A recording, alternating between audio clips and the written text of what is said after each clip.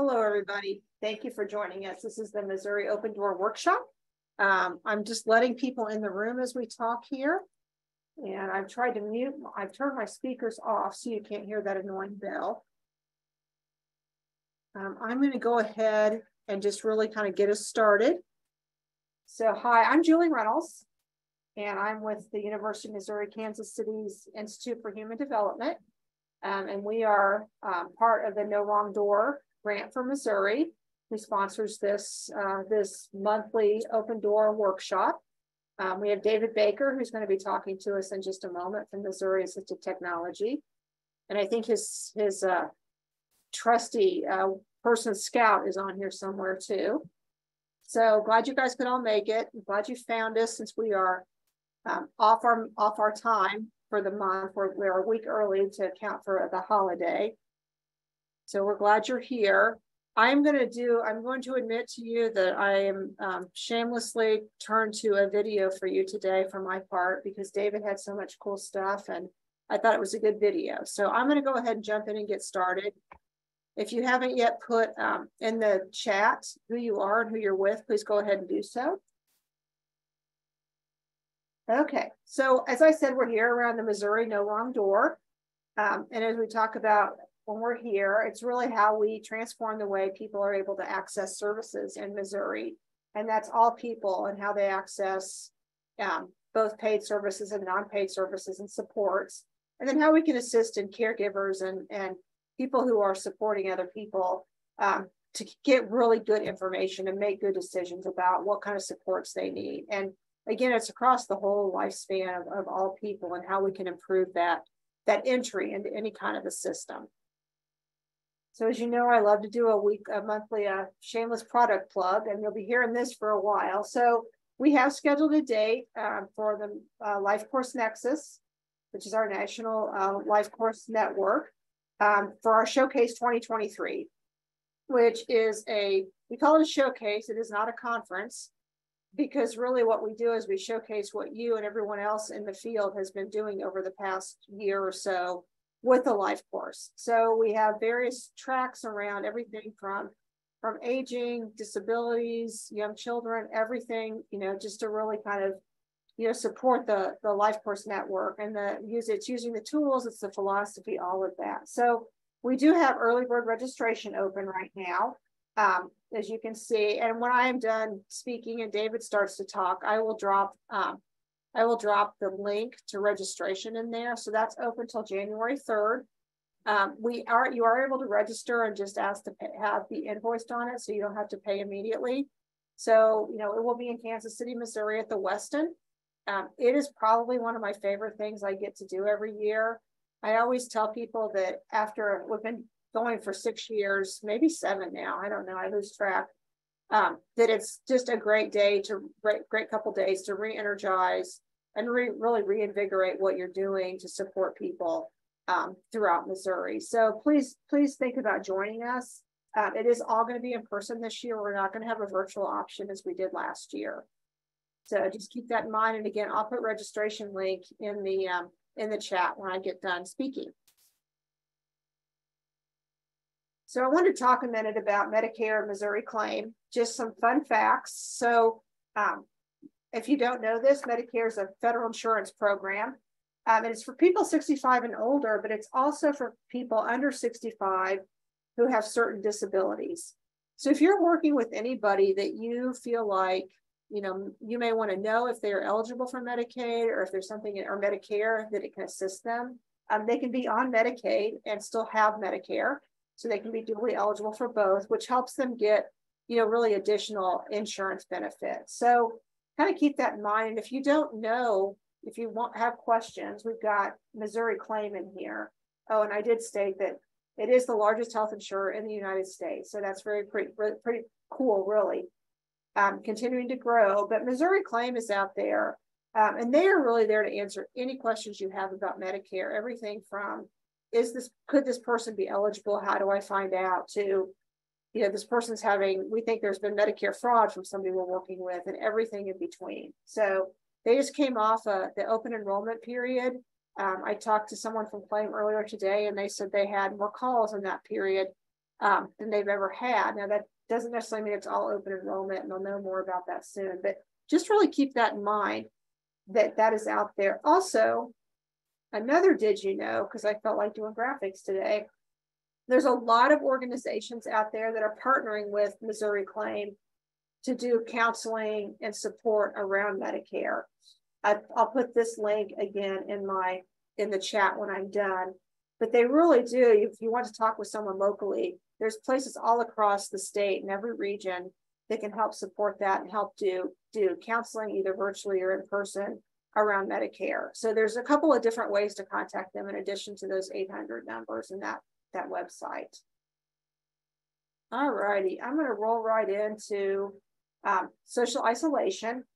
And what I did today, it really wasn't because I was trying to cop out, but I just wanted to, I was trying to think of somebody that could come in and talk about social isolation and how it affected them and how it affected their mental health and their family. So the video I'm going to show you is about seven minutes long.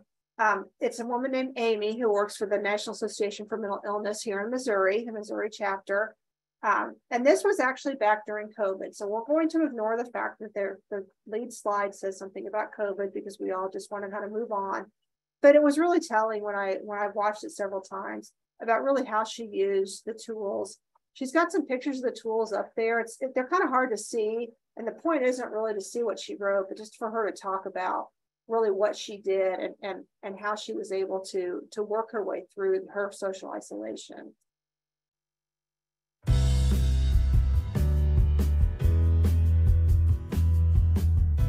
Um, so this was my daughter. Um, I've used these materials with her before um, in preparing for her IEP meetings um, because she goes to her IEP meetings so that she's going in there knowing what she wants, what she doesn't want. Um, we were both kind of having um, some challenges.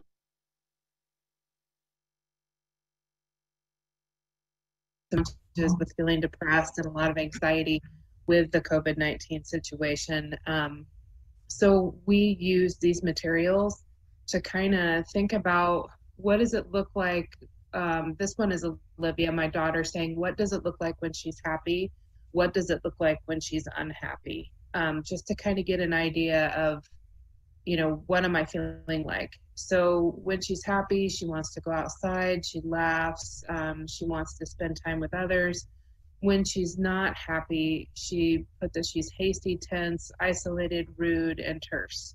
Um, so this was just kind of to get like a feeling of how do I know if I'm not doing okay? Um, you can go on to the next one. This one was mine. So I put, what am I like when I'm calm and happy? Um, I put that I was productive, creative. I look forward to each day. I feel grateful. I have a sense of humor and I tend to bounce back from things um, under the what don't I want, I just wrote down what do I look like when I'm anxious, um, depressed, or afraid, and and I get really grouchy. I cry a lot. I feel very down um, for myself personally because I do live with a mental health um, challenge. I have thoughts of death um, sometimes, and and I have no motivation. So just kind of an an idea of knowing yourself. Um, you can go to the next one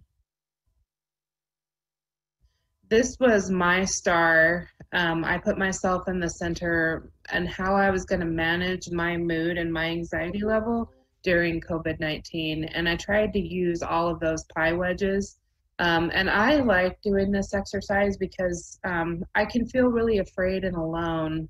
And then I do something like this, and it reminds me of what I know. It reminds me of the skills that I have and all of the different areas of my life where I can get support. So usually after filling out one of these forms, I feel um, up to the task, if that makes sense. So I, I listed everything I could do under technology, like like limiting my consumption of the news, um, tailoring my social media feed, um, using you know technology to connect with my family and my friends, um, other things that help me like crafting um, exercise.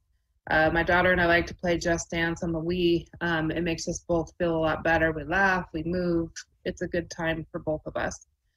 Um, I listed all my personal strengths and assets. Um, relationships that I have with my daughter and with my extended family and the other supports that I have. And again, I found it very helpful. I don't know, do I have one more or is this the end? Okay. And this was my daughter's. She drew a happy face in the star and she wrote down, you know, she has some calming games that she does when she's stressed that are pretty much kind of like shapes and music. And she has one that's like a mandala kind of drawing that she can put her finger on and it draws patterns and it'll make her feel really, really calm. Um, she has some shows, animated shows that she likes to watch on TV that are um, funny. So if she's not feeling happy, they make her laugh. Um, she put movies down. She loves to play DJ and um, play all different kinds of music. She has all these playlists set up on YouTube that she'll play for us. And then she put her personal strengths and assets. So like draw, create, read, design, um, plan her computer. I don't know what what some of those things are. They're things that she understands. She wrote down her relationships, and then she put the services she could use, like like online therapy services and then she chats online with her friends. Um, sometimes she'll just tell me, I, I need to call. She has a friend named Maddie. She'll say, I need to Skype with Maddie, mom. I'm not feeling very positive right now. Um, so again, I felt that this was helpful. Um, she was kind of nervous about being on this call, um, but I asked her, you know, what did doing this feel like for you? And she just said that it was a good way to think about all of the different things she could do to feel better. Um, so thank you guys. I thought that was interesting. A couple things I think that struck me as she was talking was one how open she was about some of her struggles, which I always think is great when people can talk about that. But then also how they really used the trajectory in a very specific way to say, this is the stuff that makes me happy and this is the stuff that irritates me. And I found when I was looking at that and listening to it that those are all the things that probably irritate all of us. But you know, writing them down on paper and then trying to avoid the things you want to stay away from and kind of focusing on those happier things is, is really one way to, to do that. And I think, you know, the way she used the star is very cool because there's ways you can really talk about and think about when you feel socially isolated or depressed. What are some of the things that I can do? Um, and what are the things I already have? So so it's kind of like you had a substitute teacher today and got a video. So I'm going to turn it over to David who's going to talk to us about the technology to reduce social isolation. So go forth, David. All righty. Well, thank you very much, Julie, and good afternoon, everybody. Uh, there were a couple of things as I was watching the video of, of Amy and Olivia, um, a couple of things that really kind of uh, got me excited. The first one is how well the the the star worked in helping them work through some of the scenarios and some of the issues that they faced. But I especially love the fact that there were um, some items listed up there in the upper left-hand corner where the uh, section for technology is. And there, I caught myself making some mental suggestions to them um, telepathically uh, as uh, for some ideas for technology that I actually have in the presentation that uh, I thought that was kind of funny that, um, but it does, it makes a really nice um, kind of laying the groundwork, having the framework tool that uh, that includes technology, which is obviously what I want to kind of focus in on today. Um, so, Julie, if we move to the next slide. So, we all are very well aware of the, the issue of social isolation. It kind of came screaming home to us during the pandemic. And there was a lot of focus on it. And I if I remember correctly, the very first mod presentation we did was on social isolation. So it seemed like it was good to return to it for two reasons that jumped out to me. The first one is the fact that there's a Pew Research study that came out in 2018. And at that point in time, they talked about the fact that at any given point in time, one in 10 individuals is experiencing social isolation. And then we hit the pandemic. So we all know that social isolation has been an issue um, and it's going to continue to be an issue. And as we approach the holidays and as we approach winter, it becomes even greater uh, in terms of the number of individuals that are impacted by it it's a it's kind of a slightly strange topic in a way because it in and of itself social isolation is not necessarily bad uh, most of us at some point in our life crave the solitude and occasionally occasionally being alone. We find it relaxing, we find it rejuvenating, we find it uh, meditative in a lot of respects. So, but when we talk about social isolation, we're typically referring to solitude that is unwarranted, unwanted, or unhealthy. So, kind of our working definition is that it's an objective lack of social relationships or infrequency. There are a variety of things that, oh, you could move back to that slide there, Julie there are a number of things um, that can cause social isolation. And if you go out there and do a little research, there's, there's quite a list. But I thought these are probably the most common experiences or reasons that people um, experience social isolation. So, the loss of a loved one. Um, if an individual has mental health issues like anxiety or depression, which we saw uh, as being um, things that Olivia and Amy had highlighted, if they're in a remote location where they're separated from family and friends, or if they've recently uh, experience unemployment, these are prime causes of social isolation. So moving to the next slide.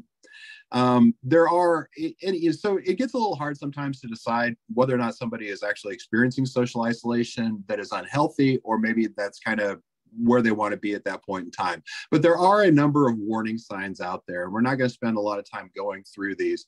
But I thought that the two that I have highlighted there of the five or so that are on the list um, might be our biggest clues with the folks that we work with. You know, if somebody's feeling distressed during a period of solitude, maybe they're separated from family and friends for the holidays, those types of scenarios, or if somebody is choosing to spend a large amount of time alone or with extremely limited contact with others. I think as we go about our jobs interacting with people, these are things that might leap out to us as warning signs. So if we move on to the next slide, even though they're not sure why this is, it is a pretty well established fact that there is a num there are a number of health issues that are affected or can be caused or exasperated by feelings of social isolation. So things like sleeplessness, um, reduction in immune function, higher anxiety, greater amounts of um, depression, uh, suicidal thoughts, and even things like poor cardiovascular health and decreased cognitive function. They're not 100% sure why this happens, but there, like I said, is incredible um, information out there and data linking these two things together. For instance, there's a 40% increase in the risk of dementia uh, among people that are experiencing social isolation. I've also seen the uh, health negative health consequences of social isolation referred to as being the equivalent of smoking 15 cigarettes a day. So social isolation is more than just being isolated. It also is going to affect somebody's health if they, if they experience it for too much time or in an unhealthy manner. So moving on to the next slide. So just a quick disclaimer, you know, individuals who are suffering from the effects of social isolation should always be mindful of their symptoms and wherever possible, seek help from experts if these symptoms continue to persist or become severe. Um, we're going to talk about technology. That's not going to be a cure. There are other things that somebody needs to make sure that they attend to if they're experiencing um, the effects of social isolation. So our next slide. So one of the things that I've noticed um, as I do more research in the area of uh, how we can use technology for mental health issues, for executive function issues, some of the more some of the intellectual and cognitive things um, that we all experience. Uh, one of the things that I've discovered as time goes on is there's usually two parts to this conversation. The first part of it is that there need to be strategies in place and one of the things that comes through very clearly in a lot of the literature about um, social isolation is the idea that it's important to have a strategy. If you are experiencing social isolation, they encourage you to engage in relaxing activities, to not you know cause yourself to become more anxious or more depressed or to just get on that uh, mental roller coaster of thinking the same thoughts over and over again to follow a routine to maintain healthy habits to stay connected with family and friends and stay informed. And informed sometimes um, it seems ironic because sometimes it's the uh, you know all the information that's happening all the things that are happening in the world that cause us to uh, you know separate ourselves from the world. Um, so not just news but stay informed with what's going on in your community you know, clubs organizations those types of things. Um, the, these strategies actually kind of came home to me because my mother lives by herself. And if there is a person on the face of the earth that maintains healthy habits stays connected and follows a routine and enjoys relaxing activities, it is my mother, which probably explains why it is that she, even though she lives alone uh, in Iowa, in rural Iowa, she has not um, expressed uh, social isolation um, at all in her 90 years on this on this planet. All right, so let's move in now to the role of technology. So if we move on to the next slide, again, so there are these self-care strategies that we should have in place. And on top of that, we can talk about technology. So it's a supplement to those self-care strategies. So it's also most effective when other symptoms are under control. So if I'm somebody um, that maybe has some underlying mental health issues, make sure those are under control and the technology can be more effective as a result it's a little hard to kind of categorize or think about technology solutions. Um, for social isolation. And uh, some of the research that I did um, kind of encouraged thinking about it around barriers that an individual encounters as a result of their social isolation. So if I'm somebody that has anxiety, um, or I'm experiencing anxiety, then maybe I'm looking for technology tools that will be soothers and comforters for me. If I experience agitation, things that distract me or disruptors to the thoughts, the negative thoughts that I might be having. Um, safety and monitoring types of tools if I am experiencing risky behavior. If I just want some therapeutic tools, uh, we have mood trackers and screeners if it's a more therapeutic type of um, uh, barrier that I'm encountering. And so that's kind of a, just a way of looking at what we want for different situations as we kind of try to decide what technology is available out there. All right, so let's get into some technology. And we're going to talk with, uh, talk, kind of start with, um, oh gosh, some things that would be maybe a little bit more useful if I'm experiencing, um, so sort of um, mood trackers and screeners and um, distractors, just a couple of things thrown together here, or a couple of those barriers um, thrown together here a lot of the devices that are out there work around this idea of mindfulness, which we've all heard a lot about in the last decade or so. And that's the whole idea of helping improve our mental state by focusing on one's awareness uh, on the present while calmly and gently uh, acknowledging and accepting our feelings and our thoughts and our sensations um, in life. So that's kind of a, you know, a lot of different ways you can define it. That's one of the ways that I define this whole idea of mindfulness. And so a lot of these tools are kind of built around that idea. And the first thing we're looking at here on the screen is a device called the Spire. And this is, um, there's a website called Spire Store, and it might be worth investigating a little bit because there are a lot of other interesting devices that these folks have come out with. And this is a little pendant that clips to the belt. And the idea behind it is to measure the um, measure your breath. So it is sensing the expansion and the contraction of the torso. It um, pairs up with an app available both in the iOS and the Android um, environment. And so it's measuring your breathing patterns, it tracks your sleep.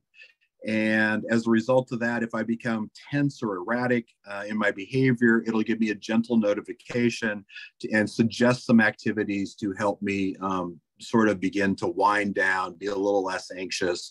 Um, these can be breathing visualization exercises. There's some guided meditations in here. And so it's a very relatively inexpensive tracker that just kind of focuses on helping me to stay calm. It's around 150, $175 if I remember. Very easy to use, pretty straightforward. The next slide here is going to look a little futuristic, but I'm beginning to think that we are going to start seeing more and more of these types of devices out there. And this is called the Muse 2, actually, uh, brain sensing device. And so it's a headband and uh, it measures EEG. And I'm so glad that they start referring to this as EEG because it actually stands for electroencephalography something graphing. There's literally 21 letters in the um, in the word, so they just refer to it as EEG. And so it's measuring whether I am calm or my brain is active. and then it translates that data into weather sounds, which I thought was interesting. So if I am calm, I will hear peaceful weather sounds. If my mind wanders, then the sound of the weather uh, is going to intensify and it's going to guide me back to a calm state.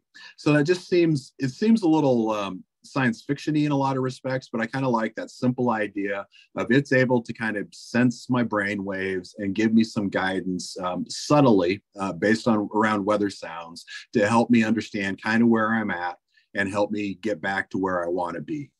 Moving on to the next slide, we'll get away from some of the higher tech devices and uh, look at a couple of low tech devices here. And the first one is Calmwear clothing which uh, I had never heard of these folks until I was putting some stuff together for this presentation.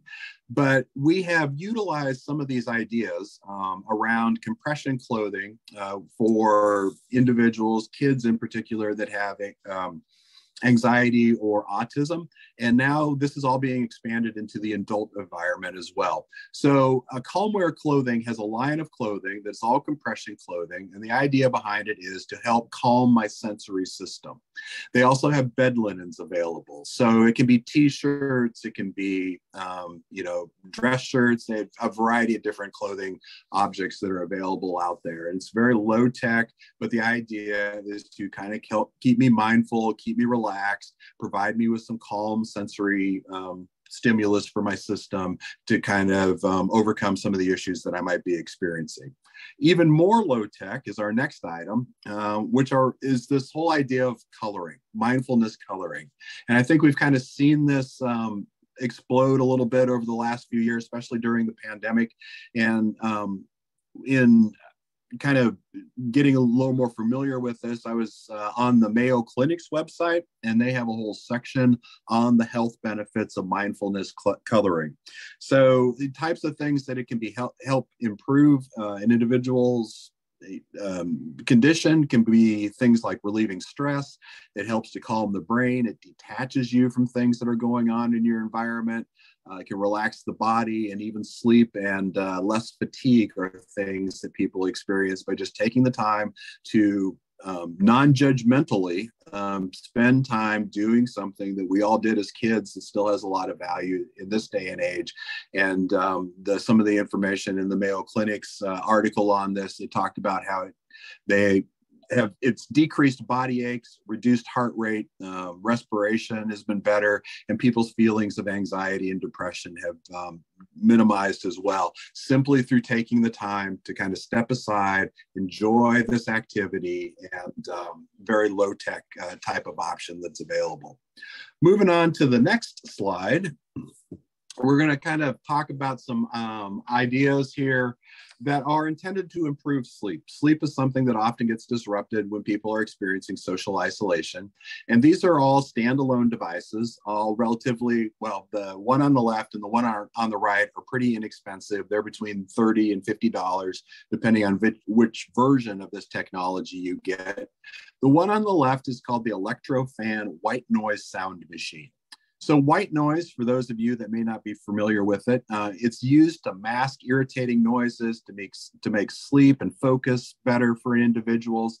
And it takes wave frequencies um, and uh, distributes them evenly. And so they fall upon the human ear differently.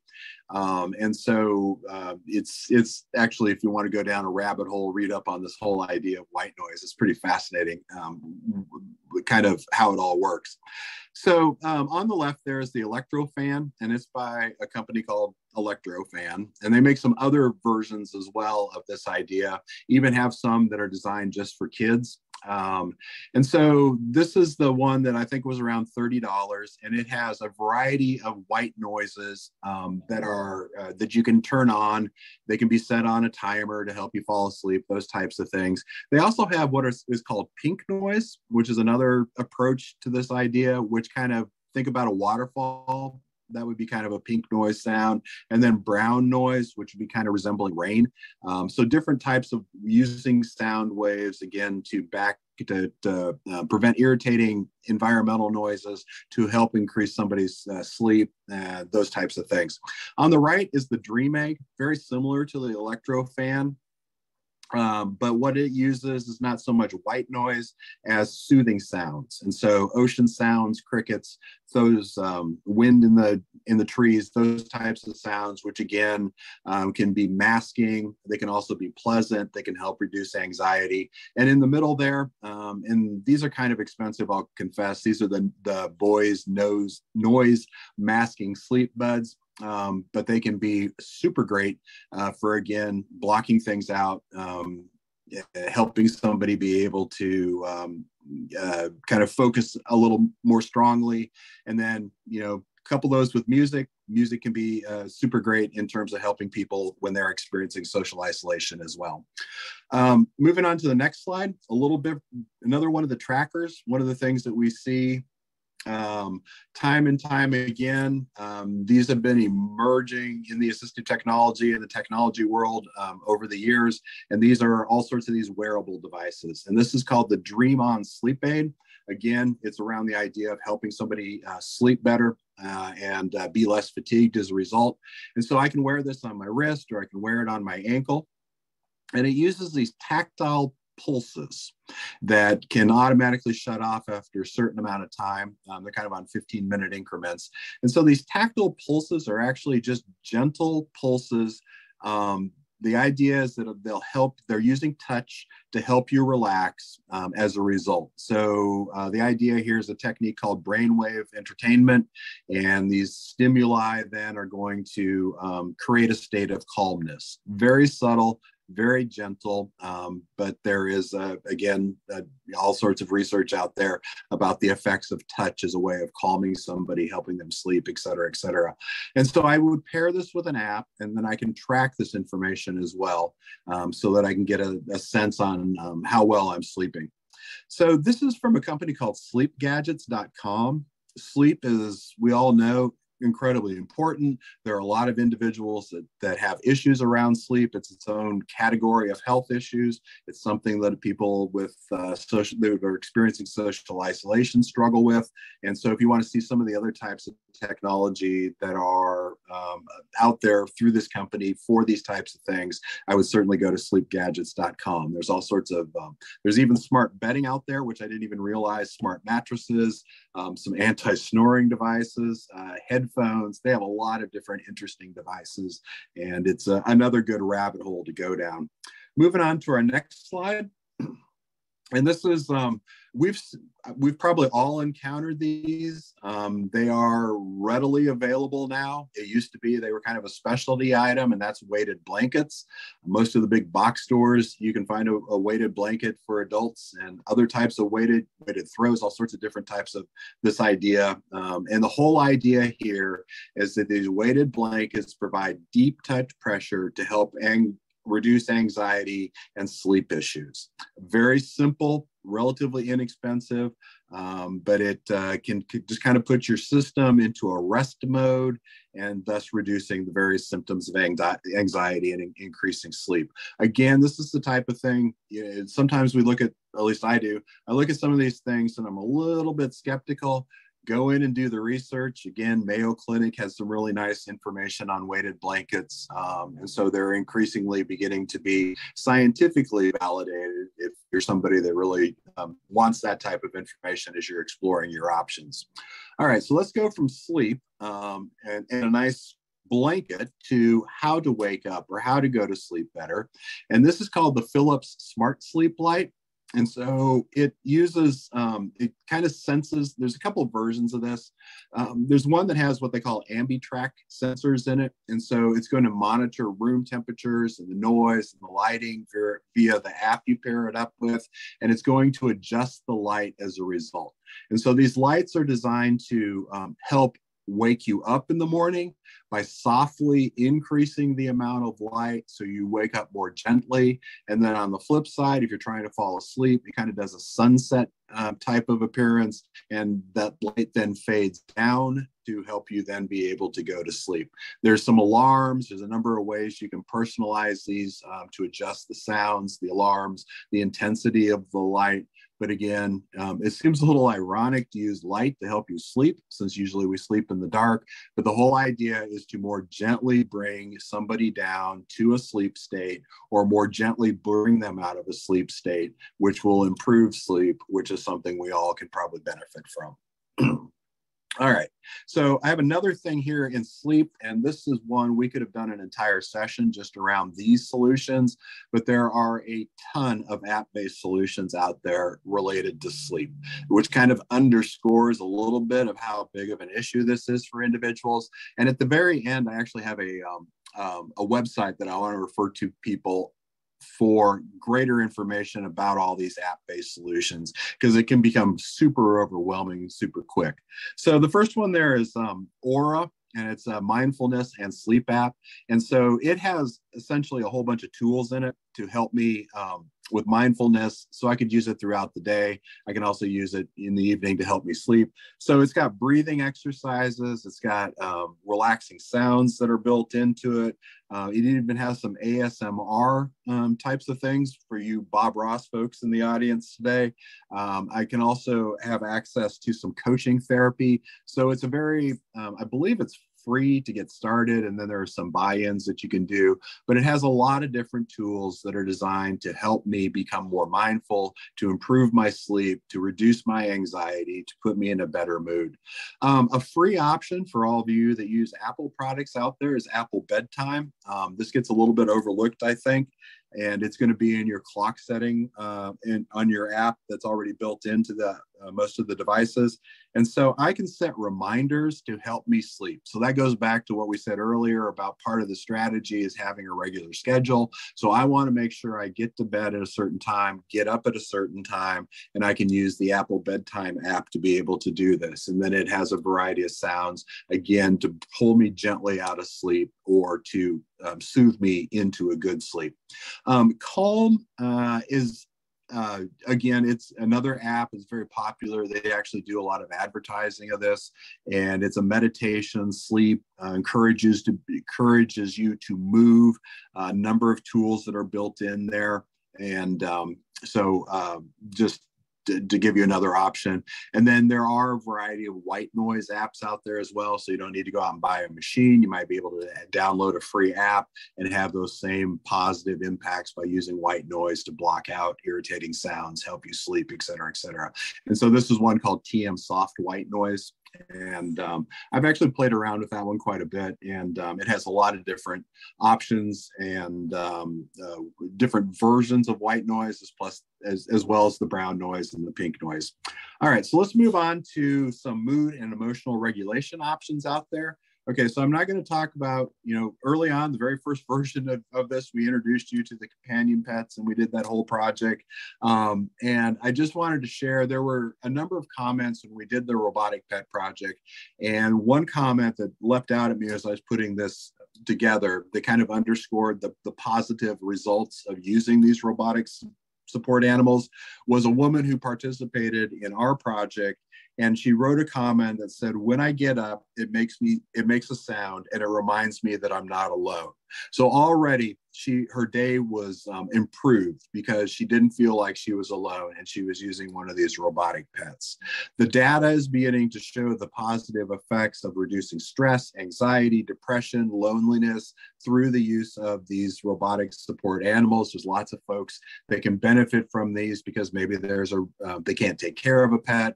They have some uh, restrictions on having a pet in their their housing situation. On the right hand side is a new one that's come out it's a little bit more realistic. The only version that they have, I believe, right now is this dog. Um, it's a little more interactive in terms of my being able to speak to it and it responds. And it's called the Tombot. And um, they had a, it was a startup campaign. They sold out of the first version. They're now taking um, uh, orders for another round of these that they're going to uh, manufacture here and put out. So uh, roughly the same. Um, it's just it just has a few things that make it just a little bit more interesting and a little bit more interactive. Moving on to the next slide. Uh, again, not going to spend a lot of time on these. There are a lot of app-based solutions around mood and emotional regulation. And centered, um, I put it on the slide. I was doing um, some double checking of my material yesterday. Um, it's been out there for a long time. It's uh, got a number of tools in it. Um, I think they may be undergoing some kind of change as a company, but it's still one that often gets recommended um, for the variety of, of things that I can do to set goals, to make sure that I have healthy habits, to check in, to um, do some exercises around my my feelings, my mood, my emotions, et cetera, et cetera. The one in the middle, MindShift, MindShift CBT, is um, free. It comes out of an organization called Anxiety Canada, and they put this together. And it does just about everything but sliced bread um, in terms of the variety of tools. If you're somebody that experiences anxiety, um, you're really concerned about making sure emotionally you stay stable, that your moods are positive, et cetera, et cetera, et cetera um, then this might be something to investigate. Um, it helps, it provides me with some um, some ways of thinking. Uh, if I get on, it helps me stay grounded. Uh, if I have experiences, um, there's what they refer to as a catastrophe scale in there to help me mindfully understand you know am i overreacting to a situation i can do some journaling in in this app um, just a lot of tools that are all designed to kind of track where i'm at and and change the direction softly for me if i am going sort of in the wrong way uh, whatsapp uh, or I'm sorry, see, I just made the mistake that I did when I was searching for this. There's another one out there that I wish would change its name. It's called What's Up. I get it mixed up with WhatsApp all the time, which is a completely different type of app. But it too has a number of nice, it's free. There's a number of nice little tools in there to help me be able to um, interact and, and think things through and improve my uh, feelings and make changes to my behavior that can put myself in a better frame of mind um, just simply by using this free app. All right, so the next slide here we're going to talk a little about light therapy lamps. And these have been around um, on and off over the year, or well, for a number of years. And just as a side note here, many, many moons ago, um, I had a family member uh, and they were, um, it was recommended that they uh, get a light therapy lamp. And at that particular point in time, you literally had to get a doctor's prescription to get one of these. And now there are a number of companies out there that sell them. You no longer need the doctor's prescription. So I think it's interesting sometimes how things change. The idea behind light therapy is that it uses different wavelengths. And so it's mimicking the natural light that a lot of times, especially this time of the year, we are not taking advantage of or we don't have the opportunity to take advantage of. And the um, there's all sorts of data out there that talks about how these light waves um, that we lose a lot in the winter in particular can help improve energy. They lift our moods. They, They reduce the um, the symptoms of seasonal adjusted disorder. Okay. Little bit of a, um, a caveat here. Do your research on these um, beforehand. There are some issues where um, the different light waves that it, that these things emit might uh, be not good for some individuals. And so um, read the small print if you're looking at some of these light therapy lamps out there. Uh, but overall for most people uh, these these waves these more natural waves have some very positive um, impacts all right, so let's move now to the next slide, which is some, some simplified high tech that is out there. And on the left-hand side is the ElliQ, And this is billed as a voice operated care companion. And so some of the things, it's very simple. It's designed for seniors or people um, who struggle um, with instructions, which could be anybody of any age off, off um, it seems like. Um, so it's a friendly presence, is kind of how they uh, describe it. And by voice command and simple on screen instructions, I can interact with it and it will make productive suggestions to me throughout the day, like get up and move around, or have you called so and so, or you know, what have you done you, you know, so it's got some built-in sort of AI types of technology in there, and um, has ways of encouraging me to stay healthy with my lifestyle, to empower independence. And so some of those things again that I talked about that are strategies are sort of built into this device, um, so that I have these. So that I'm just doing positive things throughout the day. Uh, very simple, very easy to use. It's set up again to be um, basically error free and um, again, voice command. So it's good for folks that might have some mobility issues and not be able to um, operate other types of, of, devices that are out there. So um, very nice, well-designed device, I think. On the right-hand side is a device called the GrandPad, which I believe we, we've touched on before. I just want to make sure um, that I say a few words on this because this is designed for seniors. And sometimes people get a little confused. They're like, well, what's the difference between the GrandPad and an iPad? Well, you know, uh, for a lot of people who are not exactly technology savvy, getting an iPad is going to be uh, difficult. They have to set up an iTunes account. They have to figure out how to download apps. They may not be comfortable with uh, utilizing apps. You know, there's a lot of little barriers that can get in the way of folks uh, using an iPad. So they've taken some of the benefits of the tablet devices, simplified it. They've designed it in a way that can keep uh, individuals safe. It's really geared towards seniors and there's no Wi-Fi connection. It's actually um, a 4G technology, I believe, and so it also has a number of features that are built in for individuals who have diminished eyesight, um, have motor skill issues, have hearing and cognitive issues as well. So it's a great way of helping somebody stay connected to family and friends, utilizing modern technology, but modern technology that's been scaled down, it's simpler to use, and it's safer for individuals to use. One thing um, that I wish was not the case, it can be a little expensive. There's a monthly subscription, which I think is around $65 a month. And so, unfortunately, that may not be in everybody's budget. Um, but this is a great tool again for seniors in particular to help them stay connected. All right, this next slide, we're going to just slam right through this because this one went nowhere quick. I had some things in my notes that um, were social isolation, uh, ways of reducing social, social isolation during the pandemic in the post pandemic world some people have changed focus. There was a great app out there um, in which I could connect with family and friends called House Party. There was another one called Bunch. I have just discovered in the last 24 hours that both of these companies have decided to discontinue um, these ways of virtually connecting people and playing games and exchanging uh, information and staying connected through this app.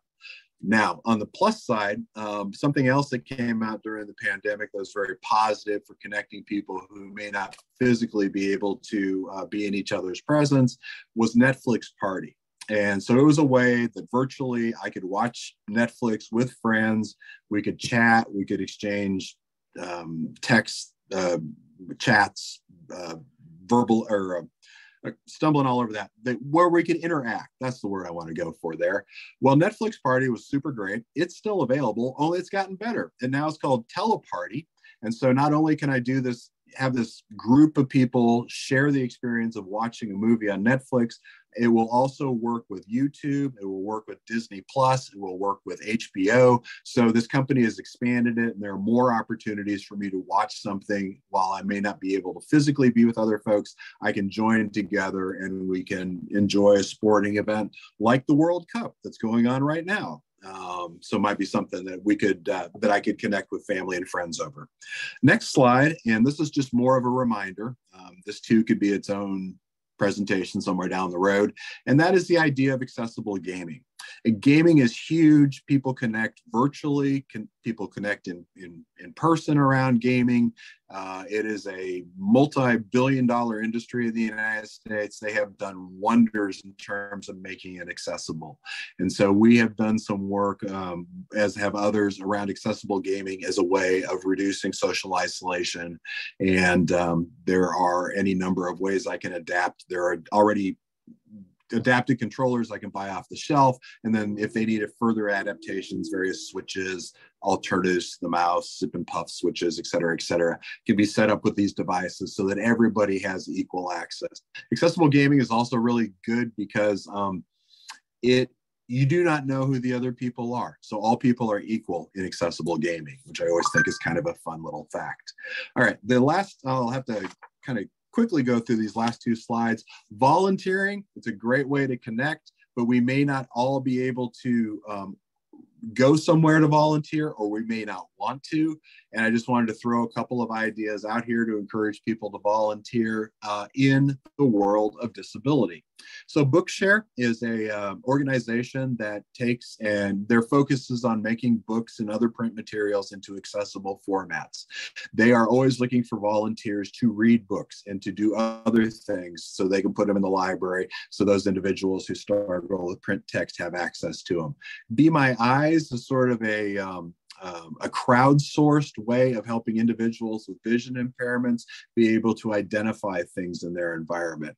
And so, if I'm a sighted person, I can be a volunteer for Be My Eyes, and I can be connected with somebody through the app to um, help them identify or objects in their kitchen or in their environment, or maybe you help them read some print text. So it's kind of a fun way of being involved and doing something positive, but when I don't necessarily have to leave my home.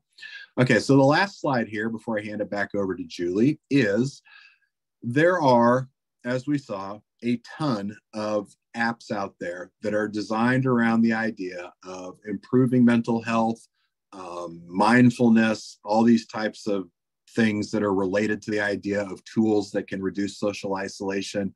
It is really difficult to ferret out which ones of those are good, which ones of those are junk. And I'll confess there are a number of them out there that are less than stellar. Um, but and in the process of putting this together, I came across this resource on mental health apps um, put out by the ADAA um, which I have forgotten what that stands for, but the website there is on the bottom, uh, adaa.org. And if you dig around on the website, you can find these um, app reviews that they have put out where they have a series of ways that they look at the various apps to determine whether or not um, their uh, effectiveness um, and uh, the quality of them so that you are finding apps that are going to be most beneficial to you and not wasting your time, which is incredibly important when we're talking about trying to find a tool to help me improve or maintain my mental health. So with that, Julie, I will hand it back to you. And thank you very much, everybody, for letting me share some of those devices with you. Thank you, David. That was awesome. Um, a couple thoughts I had is one, I've done that with um, when I've had a lot of anxiety um, in my life. I've done some of that clothing. I didn't know they had a place for it, but you know, just wearing, you know, I think they used to call them Spanx. I don't know what they're called now. And then I just love some of the apps. Those will be very helpful. So just real quick, I just wanted to make sure we uh, we reached out and let you guys know that we have a, a some plans for next year uh, for our open door series, and you will get all this information when when Angelina sends up the follow up. Uh, you'll also get uh, a link to the video and then the, the slides as well. But we're doing some digital literacy and safety um, next month, and then the AT Academy David's going to do. So just to kind of keep that in mind, and we've got we've got more stuff coming next year in 2023. And then just a reminder, our website's always out there, lifecoursetools.com, if you want to start using any of the, the tools or just explore out there. And then last but not least, if you need anything or need more information, you can be, feel free to contact myself or David. So I really appreciate you guys all being here with us. Um, I know we are at time, so it was great to see you. And, and I hope everyone has um, a really nice holiday and a great new year. And we will we'll see you in 2023, which I love to say, see you next year. So see you next year and everyone take care. Thank you.